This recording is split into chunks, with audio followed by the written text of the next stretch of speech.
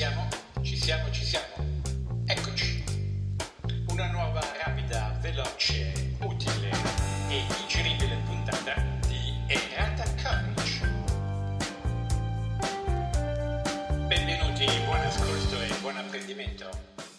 Buongiorno a tutti, benvenuti in Errata Courage. Oggi siamo qui per discutere di un tema molto spinoso con delle ospiti donne, grandi esperte di Steinbeck e del suo romanzo Uomini e topi e il tema spinoso riguarda la moglie di Carley, donna di facili costumi. Sarà l'occasione per parlare anche della condizione femminile oggi così come viene vissuta e di agganciarci ai temi che questo romanzo ci ha proposto.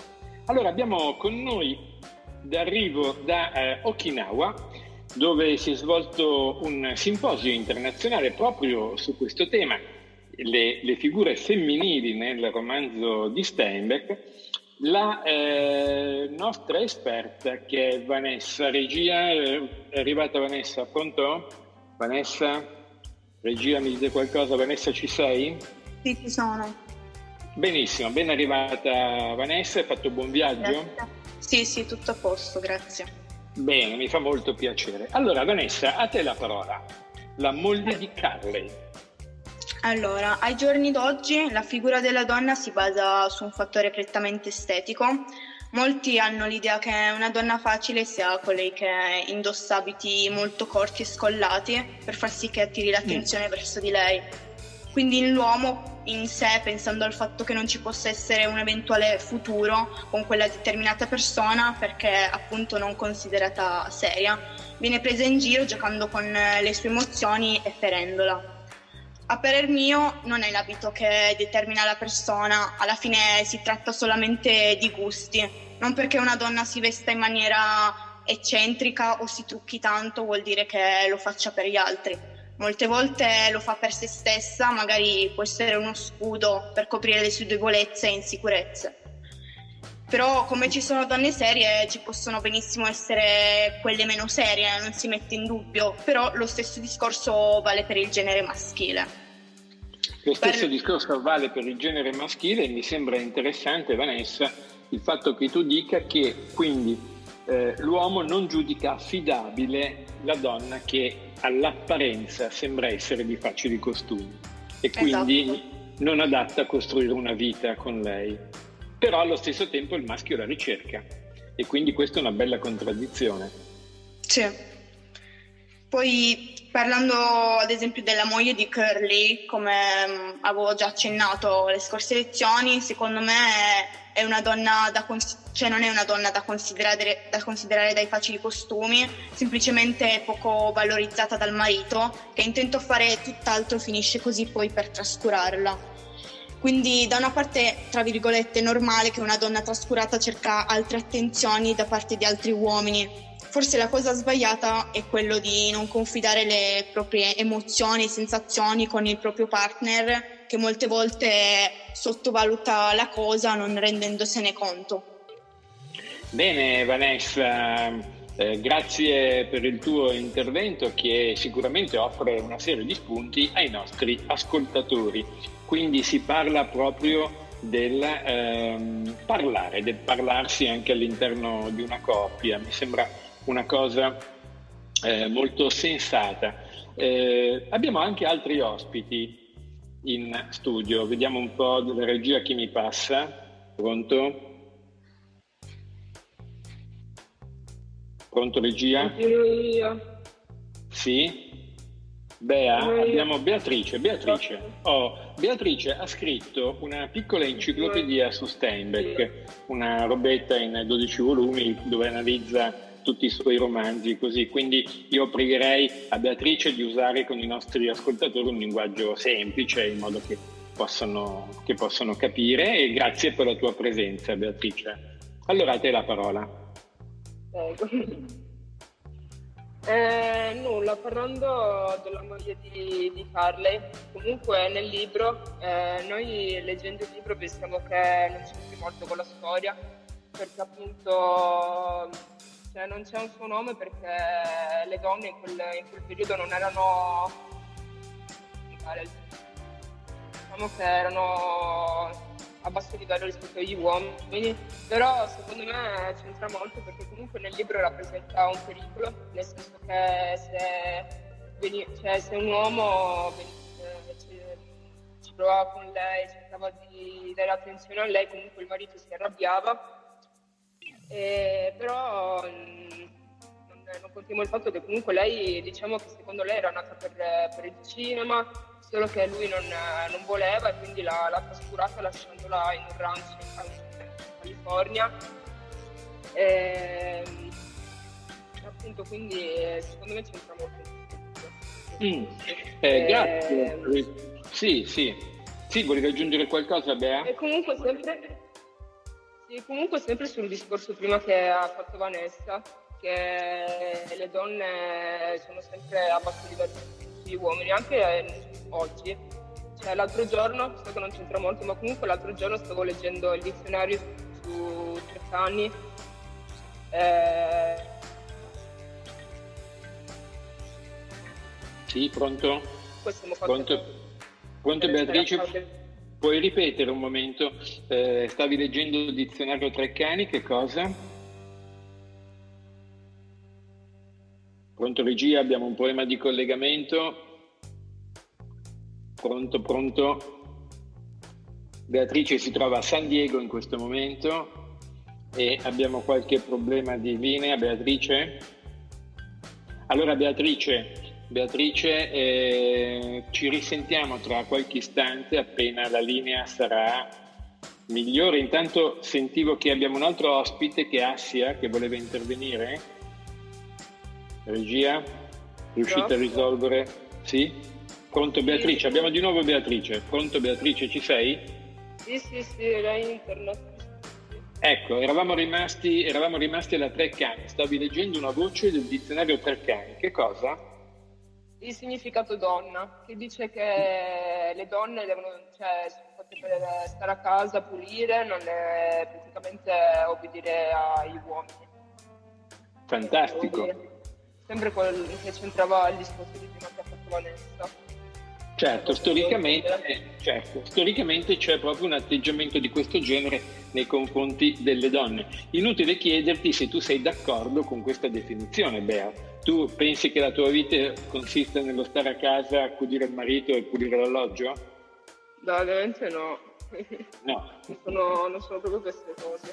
Però è strano, scusa, perché per esempio a me piace fare le pulizie, perché poi trovo tutto in ordine pulito, è bello, no? Cosa dici?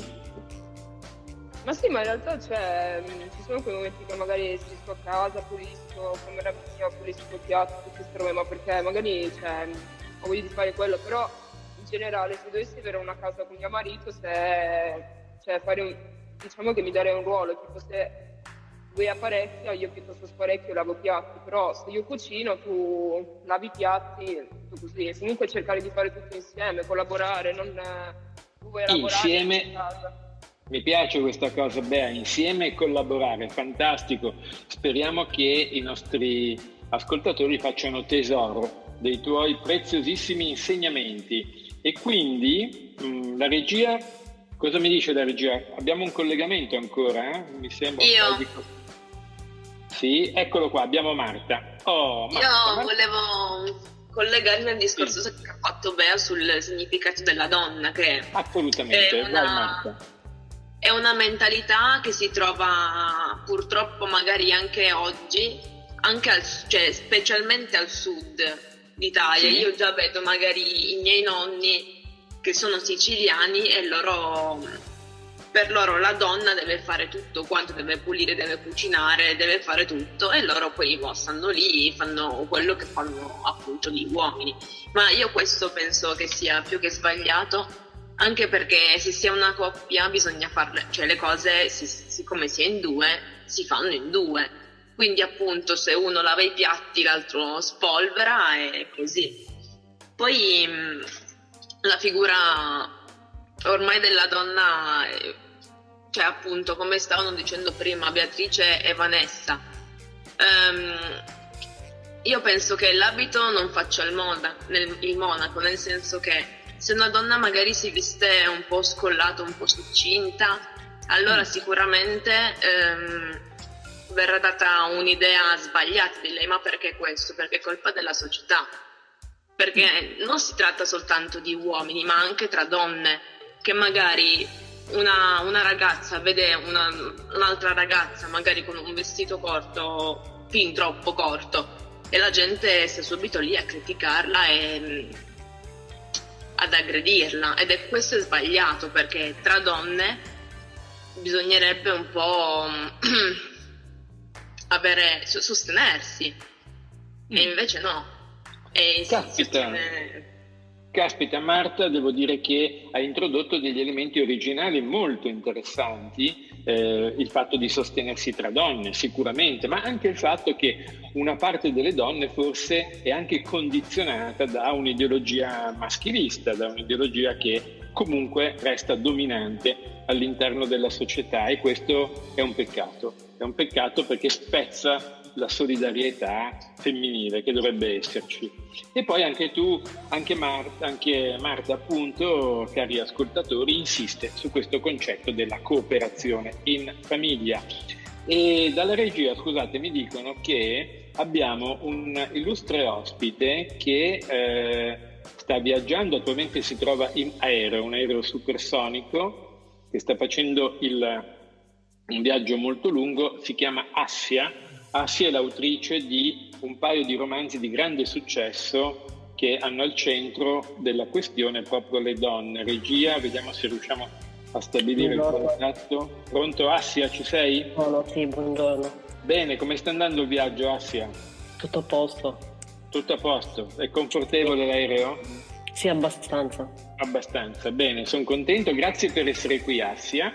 Grazie Quindi vuoi continuare questo discorso sulla moglie di Carle e il ruolo della donna oggi? Io direi anche, ti chiederei anche tu come ti senti proprio anche come, come donna poi nella società di, di, oggi. Comunque ti lascio la parola, puoi essere libera di esprimerti.